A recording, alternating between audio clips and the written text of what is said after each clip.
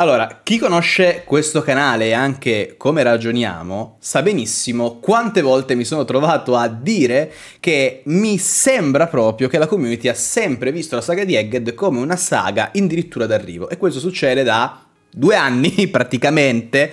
Ecco, c'è da dire che per la prima volta, oh, mi sento di dirlo ragazzi, la saga è nella fase finale. Questa volta per davvero. Credo che l'ultimo capitolo apra veramente a quella che è veramente la uh, parte finale. Avevo già accennato un po' a questo concetto nel commento del capitolo, ho visto che molti di voi sono d'accordo effettiv- effettivamente uh, su questo concetto e quindi cerchiamo di fare un po' un'infarinatura di quella che dovrebbe essere secondo me la parte finale di One Piece e perché. Allora, intanto il perché. Ovviamente, ragazzi, stiamo parlando di una parte ancora ignota, perché noi fino a questo momento abbiamo cercato di ragionare su questa saga con eh, una saga che andasse di pari passo col videomessaggio. Videomessaggio interrotto, ma l'ultimo capitolo in realtà ci fa capire con esattezza che la fuga, nonostante tutto, è impossibile. Non perché i Gorosei sono troppo forti, potevamo lasciarli lì, ma perché uno di loro addirittura vola. Quindi o riusciranno a sconfiggere il Gorosei, e non credo, perché abbiamo visto che Luffy in Gear 5 comunque, fortissimo eh,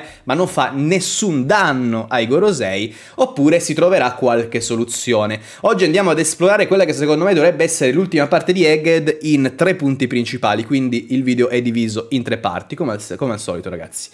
Prima di cominciare, come sempre, vi ricordo di iscrivervi al canale, mettere mi piace, particolare vi ricordo anche di attivare la campanellina, perché soltanto l'11% degli iscritti ha attivato la campanellina. In realtà da quello che vedo è normale nella media di un canale YouTube, però attivate la campanellina ragazzi così non vi perdete i nostri contenuti che siano legati al capitolo o non. Sapete che comunque in realtà la maggior parte dei contenuti sono legati al capitolo, novità, eccetera, eccetera, eccetera. Quindi mi raccomando, attivate la campanellina e io direi che possiamo cominciare. Partiamo dal primo concetto che io vorrei esplorare in assoluto, ovvero il robot gigante. Nonostante tutto, io credo che il robot gigante sarà ancora un protagonista di quest'ultima parte di Egged. E soprattutto, secondo me, è interessante partire dall'ultima volta che vediamo questo personaggio, quindi nel momento in cui va sotto l'acqua, quindi nel momento in cui viene scaraventato via da Igorosei. Secondo me il capitolo è anche abbastanza interessante su questo uh, gigante d'acciaio e ho notato che molti di voi in realtà sono rimasti delusi per l'utilizzo del robot. Io però credo di dire proprio tranquillamente che per come è impostata l'ultima parte di capitolo, in particolare io penso veramente all'ultimissima vignetta, per me è come se fosse una conferma che sto robot lo vedremo, ma proprio a breve lo rivedremo. Perché dico questo? Perché ragazzi, cioè, nel momento in cui dice finalmente eccoti qua, è come dire ok, adesso ha, ha un senso per me ritornare in superficie. Anche perché noi abbiamo visto e qua potremmo anche cambiare un po' la nostra opinione che ci siamo fatti in questi mesi, che forse sto robot non è che ha bisogno di energia, lui ha solo bisogno di sentire il battito per interessarsi a muoversi. Perché dico questo? Perché spesso e volentieri quando noi abbiamo visto la trasformazione in Nika qui, di Luffy, quindi il battito del cuore e quindi i tamburi della liberazione, abbiamo visto sto robot muoversi. Nello scorso capitolo, non in questo, non nel 1118, ma nel 1117 abbiamo visto che si muoveva anche quando Luffy era tornato nella sua forma normale. Detto questo, anche in questo capitolo qua, prima che Luffy si trasformi, vediamo che certo torna in acqua però comunque è cosciente, sta pensando a qualche cosa, quindi è come se fosse comunque attivo. Però sembra essere triste perché dice che è strano, eppure l'avevo sentito, eh, mi sembrava di averlo sentito e sem- pensavo fosse il momento giusto per incontrarlo finalmente. Eh, quindi è come se lui avesse bisogno di avere un motivo per muoversi. Nell'ultima vignetta risente questo tamburo della liberazione, i tamburi della liberazione, uso il plurale anche perché in realtà ne sente due, perché c'è anche quello di Bonnie, e quindi credo che sia il momento adatto per lui di risalire. Per quanto mi riguarda, questo robot gigante potrebbe fungere tranquillamente intanto come nuovo flashback e quindi magari l'ultimo flashback di saga perché secondo me poi non, non, ci sarebbero più dei flashback necessari. Perché attraverso di lui magari attraverso i pensieri eh, di uno dei eh, nomili mondiali in particolare di uno dei Gorosei potremmo vedere effettivamente cosa è successo 200 anni fa.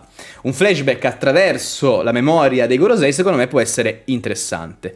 E credo che sia l'unico modo in cui possiamo vederlo effettivamente questo flashback se lo vedremo ad Egged perché non lo so, a meno che Oda non voglia veramente andare all-in sul discorso robot ehm, che ha dei sentimenti, che ha una memoria, che ha una mente, quindi magari il flashback approverrà dei suoi ricordi, magari lo, vedremo attraverso i Gorosei. Quindi sicuramente può servire per questo, per allungare ancora un po' la saga sotto questo punto di vista qui.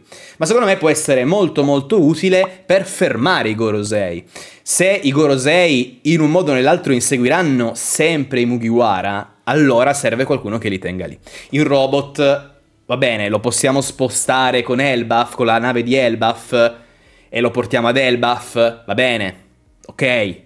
Però allo stesso tempo, ragazzi, qualcuno che tenga fermi i Gorosei, secondo me, serve.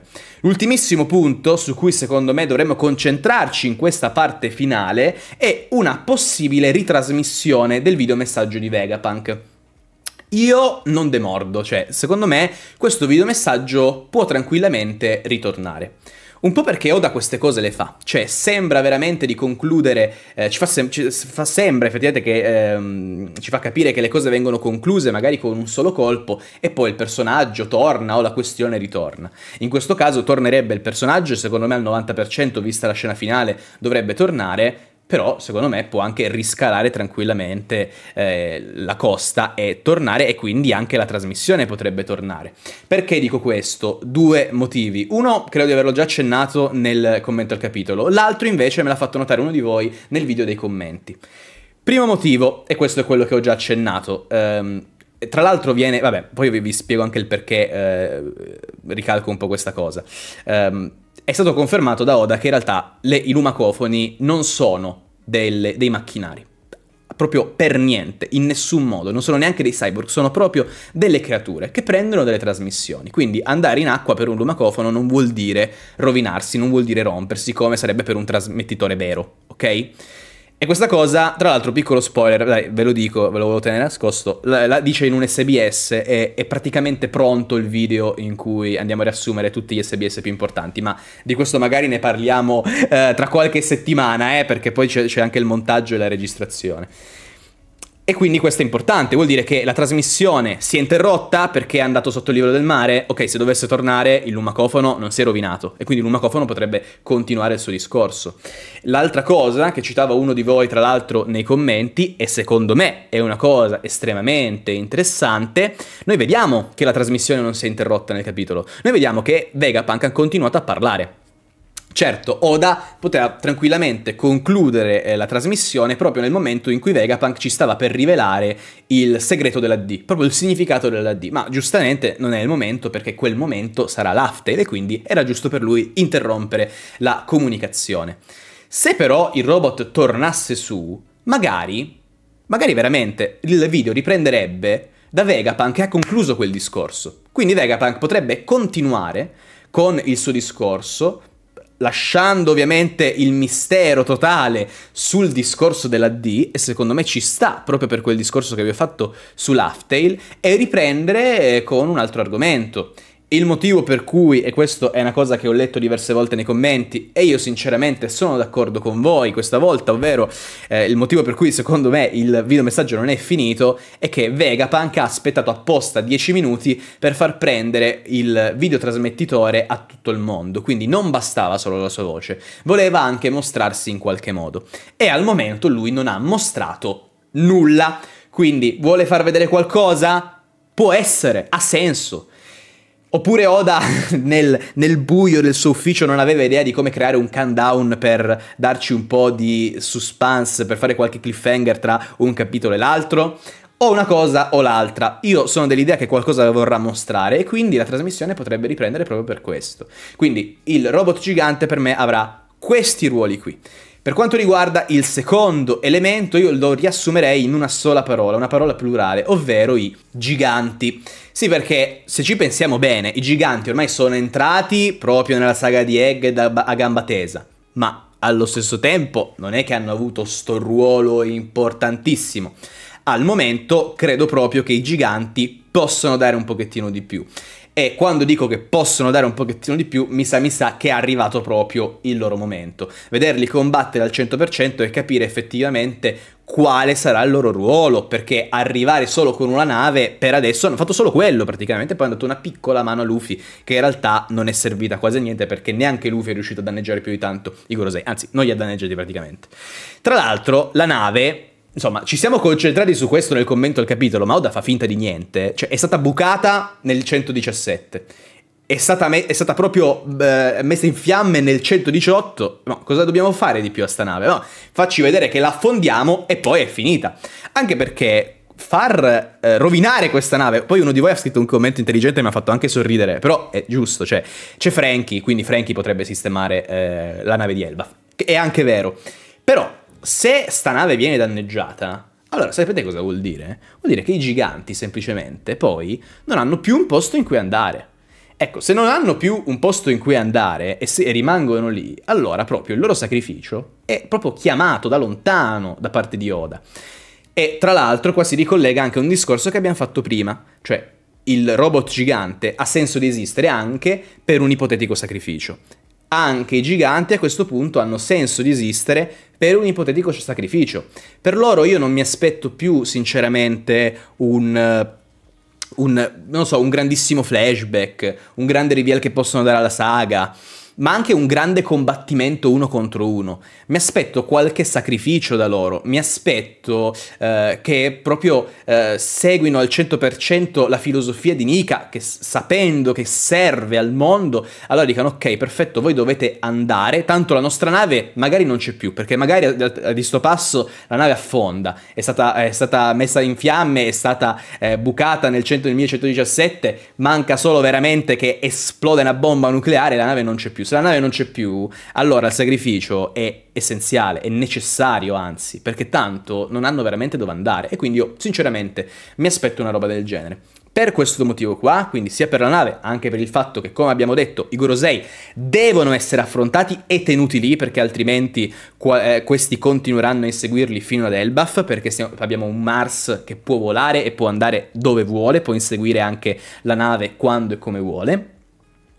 E in più questo è anche un discorso che abbiamo fatto nel commento al capitolo, ragazzi, se noi abbiamo i nuovi pirati giganti che fanno parte tra l'altro della flotta di Luffy, sarebbero ingombranti i, i vecchi pirati giganti effettivamente eh, nella, nella, grande eh, flotta, anzi nel grande mondo di One Piece perché al momento non sono nella flotta di nessuno teoricamente, forse eh, di Shanks. Abbiamo eh, i pirati che hanno rifondato questo gruppo e poi ci sono i pirati vecchi che sono tornati anche per il concetto di ricambio generazionale che in One Piece c'è spessissimo, io mi aspetto che a fine saga questa ciurma semplicemente non esista più. Anche perché, e questo è l'ultimissimo concetto che cerca, cerca di giustificare un'ipotetica morte eh, di questi pirati, mi spiace per loro, ma effettivamente io ragiono in, uh, in questo senso. Vi dico, se noi arriviamo ad Elbaf, e anzi i Mugiwara arrivano ad Elbaf accompagnati da sti pirati che sono famosissimi, sono importantissimi nell'isola, secondo me avremmo una saga poco interessante. Cioè, molte delle cose interessanti delle saghe provengono proprio dall'esplorazione, dall'avventura. Cioè loro arriverebbero accompagnati da dei giganti, tra l'altro da un bel gruppo di giganti, che gli spiega effettivamente cosa fare, cosa non fare, gli ospita pure, gli ospita tranquilli, quindi zero suspense, zero pericoli, niente di niente, zero avventura. Poi per carità, ci sono saghe in cui non c'è l'avventura, tipo Zoo, tipo Zoo non c'è avventura. Poi vediamo in realtà una parte di avventura però, perché c'è tutto il discorso di Jack, anche se lo vediamo tramite flashback praticamente. Però ecco, non lo so, la saga di Elbaf forse inizierebbe col piede sbagliato. E quindi io mi aspetto un bel addio per quanto riguarda i giganti, sia della loro nave che della ciurma in sé. E quindi la fuga potrebbe avvenire tranquillamente sulla Sanni e basta. E sulla Sanni non c'è spazio né per nessun gigante né per il robot gigante. Potrebbero stare tutti quanti sull'isola. L'ultimissimo punto, ultimissimissimo punto, sarà essenziale secondo me nei prossimi dieci capitoli, perché io credo che veramente mancano circa una decina di capitoli, forse anche meno, capitolo più, capitolo meno, è proprio Kizaru. Ah, io spesso, quando magari parlo con voi su Telegram o anche attraverso i video, mi domando e vi domando, ma uno come Kizaru, sinceramente, secondo voi, ma resterà in panchina per così tanto tempo? Proprio ve lo chiedo sinceramente. Allora, su Kizaru ci sarebbero due discorsi da fare. Intanto, se adesso Oda lo volesse far ritornare in piedi, e secondo me è necessario rivederlo, perché non è possibile che sto personaggio per metà saga sta sdraiato. Cioè, va bene tutto, eh, per carità di Dio, ma l'abbiamo già visto sdraiato. Poi, mo, ancora adesso, così steso su una nave, Mm, ok, cer- cerchiamo di fare qualcosa di più, cerchiamo di non umiliare gli ammiragli, che poi quando arriviamo alla guerra finale la gente dice gli ammiragli, va che sta roba, io voglio vedere solo Im e i cavalieri sacri. No, gli ammiragli secondo me devono essere importanti. Cerchiamo di mostrare la potenza di sto personaggio, già l'ha dimostrato secondo me combattendo contro Luffy, Secondo me, ad armi pari, so che molti di voi non sono d'accordo, ma secondo me ha veramente dimostrato di essere molto molto forte. E facciamolo tornare in piedi per un'ultima cosa, perché ne so, distruggere la nave dei giganti, ecco una cosa che io mi aspetto. Io mi aspetto una roba del genere, anche perché, cioè, vogliamo rendere la saga un po' più salata, soprattutto il finale, perché il finale, noi, noi stiamo per vedere un finale in cui i Mugiwara devono scappare. Solitamente i finali in realtà vedono la conclusione vera e propria della One Piece, quindi il villain che viene abbattuto e la festa finale. Qua non è così, però comunque il finale è sempre qualcosa di estremamente movimentato. È vero che i Gorosei già movimentano moltissimo il discorso, è vero che non ci sono solo i Gorosei, ma ci sono anche i giganti che vabbè non faranno po- fanno poco e niente alla fine a, eh, dei Gorosei, ed è vero che c'è una Bond in questo momento che ha la trasformazione in Nika, ha, ovviamente al netto di alcuni limiti che potrebbe avere, magari a livello di tempo, di energie, eccetera, eccetera, eccetera. Però se dovesse arrivare Kizaru, allora le cose qua cambierebbero per davvero. Un Kizaru che magari si rende conto di aver ammazzato Vegapunk. Un Kizaru che parla con Bonnie. Ecco, abbiamo due Nika, cerchiamo di aumentare anche gli avversari. Facciamo arrivare gli altri Gorosei, facciamo arrivare anche Kizaru. Anche perché io vi ricordo una cosa su cui ci concentravamo, ci concentravamo tantissimo all'inizio della saga. Eh, all'inizio della saga, non so se vi, se vi ricordate questa cosa, insieme avevamo, avevamo ipotizzato dell'arrivo di Kizaru eh, per eh, un piccolo elemento noi avevamo ipotizzato dell'arrivo di Kizaru perché? Perché Atlas menava gli ologrammi attraverso dei guanti che facevano menare la luce. Uso menare proprio come termine tecnico, eh. Cioè lei riusciva a tirare sti pugni agli ologrammi e sfogarsi quindi perché aveva questi guanti speciali. E noi partendo da questi guanti abbiamo detto, ah, non è che arriva Kizaru mo in sta saga, è arrivato Kizaru ora. Se Oda ci ha messo quei guanti lì per farci capire, guarda, forse forse arriva Kizaru, noi dovremmo interpretare in un altro modo. Oda ci ha messo quei guanti lì e ci ha dedicato una spiegazione di due vignette apposta su quei guanti, perché poi, prima o poi, in sta saga, li rivedremo. E li rivedremo contro Kizaru. Ancora non li abbiamo visti, perché per il momento Kizaru ha affrontato degli esseri, anzi uno, un essere in particolare, ovviamente Luffy, che sa usare l'Aki, quindi i guanti a lui non servono. Quei guanti lì però li abbiamo visti usare da Atlas. Atlas ora è sulla nave dei giganti. Ecco, Atlas potrebbe andare 1v1 contro Kizaru almeno per un breve tempo, per poi essere magari sconfitta. Perché se ci hai messo quei guanti lì per farci capire che arriverà Kizaru o per eh, sottolineare la loro importanza che prima o poi verranno usati, e allora prima o poi li devi usare. Prima o poi li devi usare e ancora non sono stati usati. E questa anche è un'altra cosa che mi fa pensare all'arrivo di Kizaru. E l'ultimissima cosa che riguarda il discorso Kizaru è quando all'inizio della saga parlavamo dell'arrivo di Kizaru, tra l'altro, noi parlavamo dell'arrivo di Kizaru, ma Saturn ancora non sapevamo sarebbe arrivato. Figuratevi gli altri Gorosei. Perché era interessante per noi? Perché è da, facciamo, dieci anni che girano le teorie su questo cavolo di nuovo ammiraglio. Per il discorso colori primari. Tutti gli ammiragli prima avevano i colori primari, ora due su tre hanno i colori secondari, l'unico che è rimasto così è Kizaru. Appena la maggior parte della community, no, no, ovviamente non è che io, ma moltissimi di voi anche, quando hanno visto che stava arrivando solo Kizaru hanno detto, boh, perfetto, allora questo è il momento di farlo cadere. Ora, Kizaru non è morto, è lì rimasto sconfitto. Io mi aspetto la morte di Kizaru. E quindi mi aspetto un Kizaru che torna, mi aspetto un Kizaru che debba affrontare qualcuno con questi cavolo di guanti e mi aspetto un Kizaru che cade definitivamente, o che dà le dimissioni o che crepa. Così e basta, questo devo dire di Kizaru. Ragazzi, io direi che questi sono i tre elementi principali per la parte finale di Egged. Ovviamente io mi aspetto qualcosina anche di Kuma, come vi ho detto mi aspetterei anche che la trasmissione riprenda e quindi questi piccoli elementi vi ho voluti lasciare perché secondo me i tre principali sono proprio Robottone, Giganti e Kizaru. Questo è ragazzi, mi raccomando, come al solito, commentate qui sotto, fatemi sapere che cosa ne pensate eh, di, queste, di queste mie opinioni, mi raccomando, fate i bravi e noi ci vediamo prestissimo, come sempre, con altri video a tema One Piece. Ciao ragazzi, vi voglio bene.